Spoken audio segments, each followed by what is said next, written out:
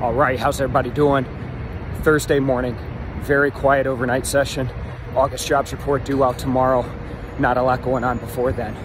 That said, we've done a couple of uh, AMA, Ask Me Anything forums on Reddit. One of the big questions that keeps coming out and surfacing is this question around can I do it? Can I day trade? Can I trade?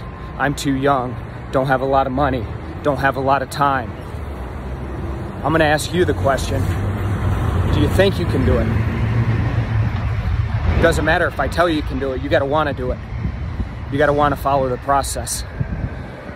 Just like when anything, and we've talked about this, whether it's working out, training for a marathon, going to school, whatever the case may be, there's a process. You got to want to do it.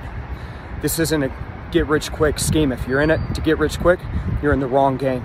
You're going to get crushed in trading. Follow the process educate yourself, trade small, get in there every single day and learn. You've got to want it. Try to get rich quick. It's inevitable you're going to get burned.